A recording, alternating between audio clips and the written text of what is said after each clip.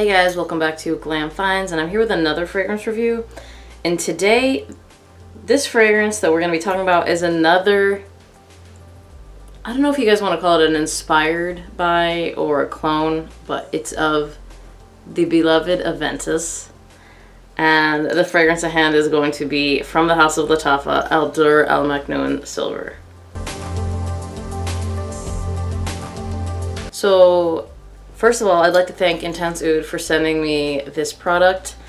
Um, if you guys would like to purchase anything from them, I do have a discount code down below. It is just Glam Finds. So click my link, find whatever you're looking for, and use that link. It'll save you 12% off your entire order, um, especially if you've already ordered from them. I think that is one of the better discount codes. And you can use it on anything on their site. So I have been using them for a while, probably since I started collecting Middle Eastern fragrances. Um, I really like them because A, they gift wrap everything, which I think is so nice. Um, and they send you a card and their shipping is a lot faster than a lot of sites, uh, especially a lot of fragrance sites, because unfortunately, when you order something from a fragrance site, it tends to take longer than any other site.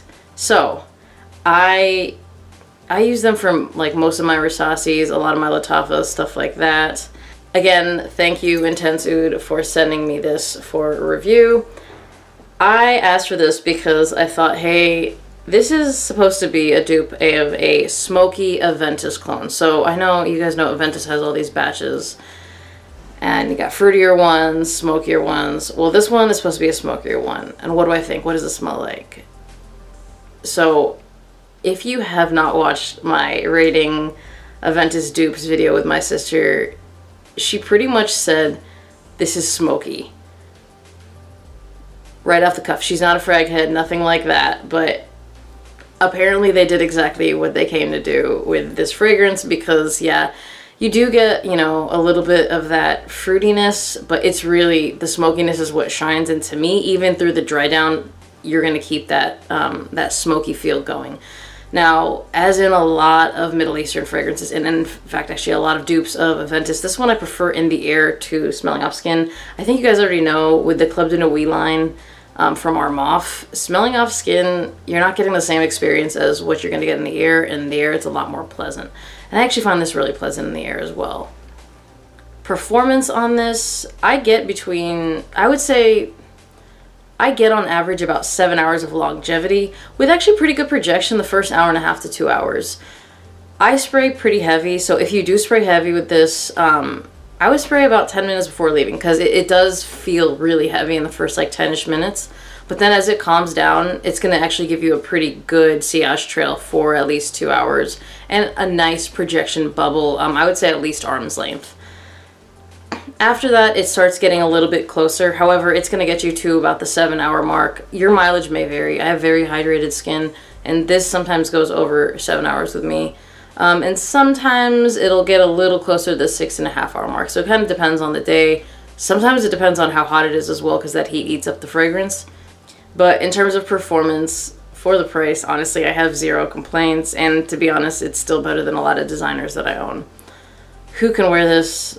Uh, I would say anybody can wear this, but do know that this isn't going to be as fruity as a lot of other dupes of Aventus. So if you're not really looking for anything too smoky, this may not be the one for you.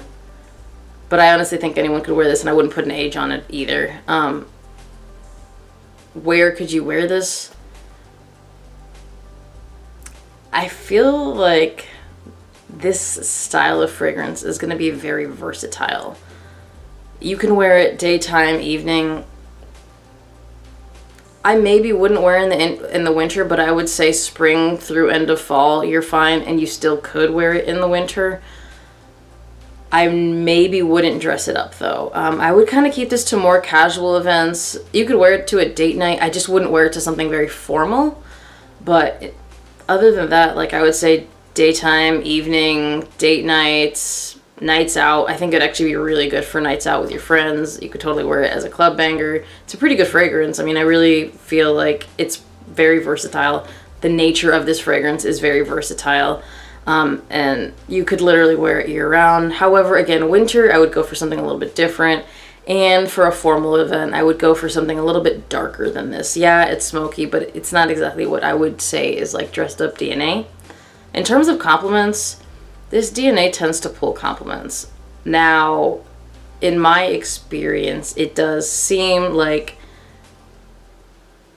you will likely get more compliments because it is smokier from males than females.